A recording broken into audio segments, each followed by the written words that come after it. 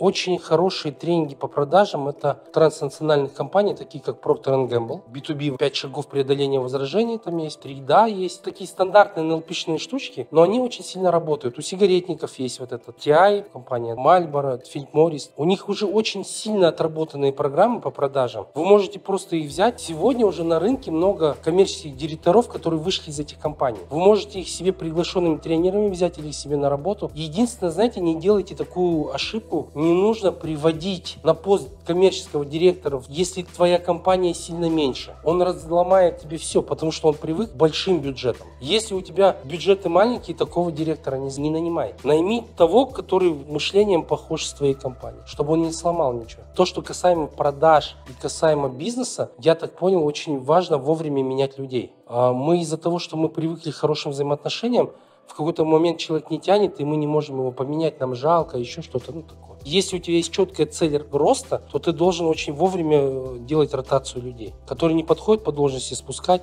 другого поднимать. Это уже работа HR. И HR это еще одна профессия, которая сильно недооценена у нас. HR это, наверное, один из самых крутых людей в компании должен, потому что кадры решают все. Руководителю некогда вовремя заниматься ротацией. Руководитель, он смотрит, вот человек работает там три года уже, да, ну и нехай там сидит нормально, планы выполняет. А ему скучно, он уже выгорел, его нужно менять. А HR должен замечать, когда человек пересидел на должности. У HR есть свои какие-то задачи, там раз в год там менять э, должности человеку. Его горизонтально расти, вертикальный рост ему дать, тренинги определенные дать, где-то помочь. HR занимается подбором, да, вот это, допустим, она в декрет уходит, надо ее заменить там на год. У руководителя голова лопнет, если он еще этим будет заниматься. У HR нету такой привязки, наверное, к людям и нету такого принятия решений ответственности на себя. И он может спокойно делать ротацию. Руководитель, он прикипает, потому что он коммуницирует очень часто. Поэтому, когда ты с человеком прошел определенные стадии там,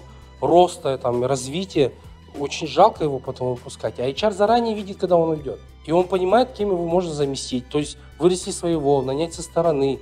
Это же ну, огромная работа вообще. Сейчас это просто начальник отдела кадров чаще всего. Она просто заполняет данные, ведет картотеку с должностными обязанностями. Но на самом деле HR хороший – это очень крутая профессия. И это очень влиятельный человек в компании. Это ну, второй человек, наверное, в компании. Чтобы такой человек появился, руководитель должен ему довериться в какой-то момент. Если он говорит, нужно, нужно менять, надо менять. Это в основном доверие, потому что у руководителя свои иллюзии на этого человека, и какие-то вещи он не видит, у него слепая зона, а HR видит. И у нас единоправное управление, как бы чаще всего, да? Отчасти это из-за того, что единоправное управление из-за маленького количества людей. У нас нет еще таких больших сильно корпораций, где это можно было внедрять. Вернее, корпорации есть, еще ум вот не готов. Там, где это уже надо, люди не могут это принять, потому что они не готовы менять структуру компании. Как только ты начнешь HR доверять и делать все, как она говорит или он говорит, наверное, процентов 30 руководителей, которые у тебя сейчас, они уйдут. Он повысит тебе фот в 2-3 раза. Он поменяет тебе всех основных руководителей, с которыми ты рос 20 лет. И многие к этому не готовы. С чего человек, который пришел вчера, разбирается в людях лучше, чем я. И это основной баг такой в голове. У нас есть такие чары, да. К счастью, их там по пальцам пересчитать, но они есть. Если честно, это очень приятно, что они такие существуют. Это с международных компаний в основном. То есть они набрали наших HR и из них делали ну, для себя, прям образовывали. Но у них на самом деле работодателей не так много, комфортных для них. Потому что транснациональных компаний их тоже там по пальцам пересчитать. Первый шаг – найди хорошего HR. Второй, когда ты его найдешь, спросить, что бы он сделал. Да, заплати ему там за месяц, я не знаю, за консультацию, там сколько-то, 15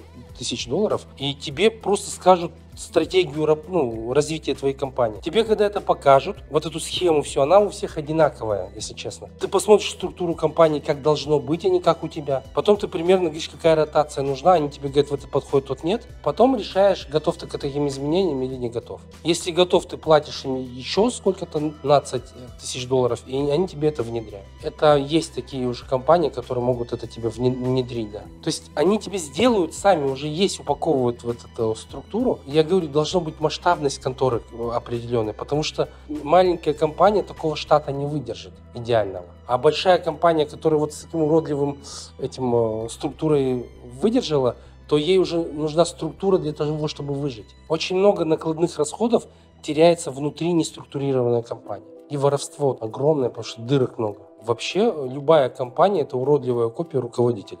Любая компания. Это то, что у тебя в голове, то и у тебя в конторе получается.